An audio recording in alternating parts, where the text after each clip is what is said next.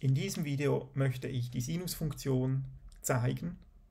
Ich möchte zeigen, was du mit der Sinusfunktion tun kannst, ohne zu erklären, was die Sinusfunktion eigentlich ist und warum sie das tut. Ich zeige vier Beispiele im P5-Editor und die Links dazu werde ich dir aufschreiben, so dass du selber damit experimentieren kannst.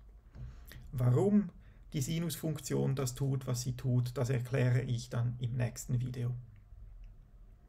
In diesem ersten Skript generiere ich zuerst einen Canvas, den ich aber nicht brauche, und dann verlangsame ich die Animation auf vier Bilder pro Sekunde, damit das nicht zu schnell geht. Und dann brauche ich eine Variable a, die ich außerhalb des Draw Loops definiere weise ihr den Wert 0 zu und dann am Ende des Draw Loops erhöhe ich diesen Wert kontinuierlich um 0,25. So ist a am Anfang 0, dann 0,25, dann 0,5, dann 0,75, 1, 1,25, 1,5 und so weiter. Und diesen Wert a, den füttere ich als Argument an die Sin-Funktion. Die Sin-Funktion das ist die Sinusfunktion und die generiert eine Zahl.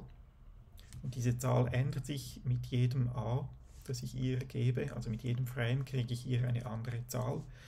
Die speichere ich in die Variable mySinus. Auf Englisch müsste es mySine heißen, weil Sinus wird S-I-N-E geschrieben auf Englisch. Und dann schreibe ich das in die Konsole. Und ich runde es, es das hier ist eine Funktion, die heißt round. Das ist eine P5-Funktion, die es mir erlaubt, eine Zahl auf eine bestimmte Anzahl Stellen nach dem Komma zu runden. Und ich runde sie auf zwei Stellen nach dem Komma, damit das nicht so unansehnliche lange Zahlen sind. Aber es ist die Zahl, die die Sinusfunktion zurückgibt und das schreibe ich in die Konsole und das werde ich jetzt einige Male tun. Ich drücke auf Play und dann warten wir ein bisschen. Und sobald es einige dieser Zahlen gibt, versuchen wir herauszufinden, ob es da ein Muster gibt und was genau für Zahlen, dass ich hier zurückkriege. Okay, stopp.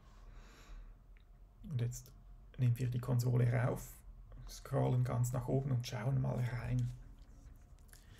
Es beginnt bei 0 dann geht es auf 0,25, dann 0,48, 0,68, 0,84 und dann kommen wir zu 1.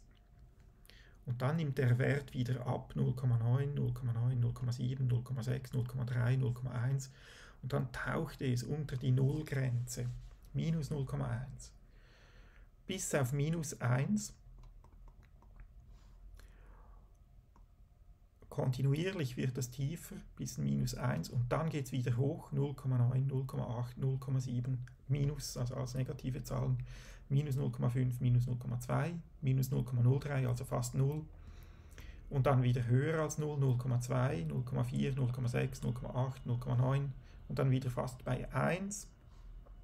Hier werden zweimal 0,99 generiert. Ähm, wenn etwas mehr als einmal vorkommt, dann wird hier eine Zahl vorne herangeschrieben, um zu zeigen, wie viel mal das gleiche.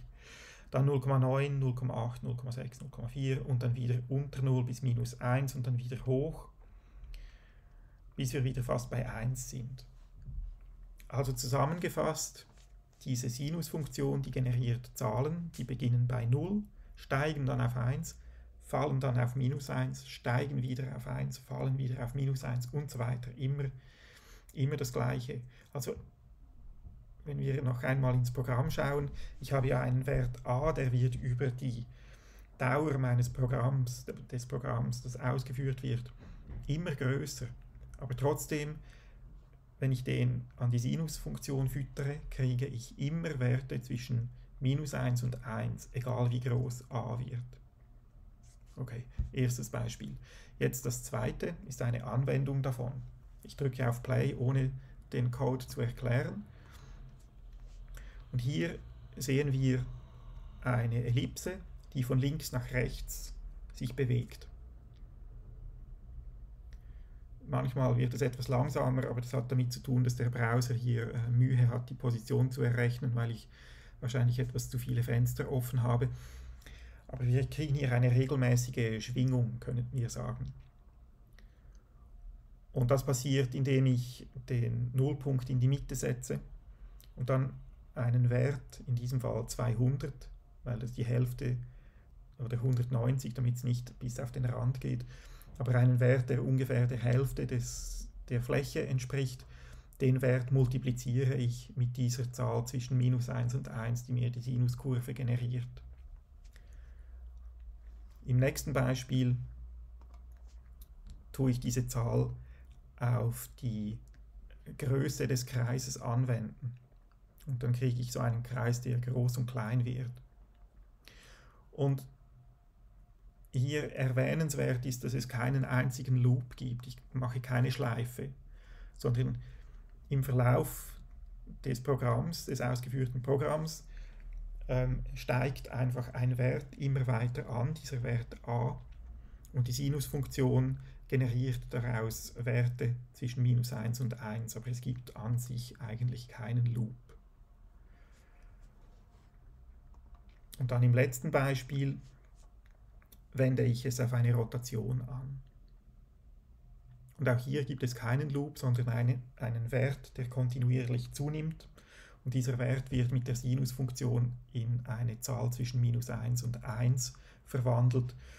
Und diese Zahlen in diesem Spektrum minus 1 bis 1, die tun kontinuierlich wechseln zwischen diesen zwei Extremen. Und dadurch kann ich sie umrechnen auf irgendeinen einen anderen Wert und erhalte dann immer Werte zwischen diesen zwei Extremen und kann damit etwas antreiben oder etwas bewegen. Also die Sinusfunktion kannst du verwenden wie ein Motor für deine Animation. Jetzt kannst du selber überlegen, welche Bewegungen, welche Eigenschaften du mit Sinus antreiben könntest und kannst vielleicht einmal selber versuchen, so etwas zu tun, bevor du das nächste Video schaust.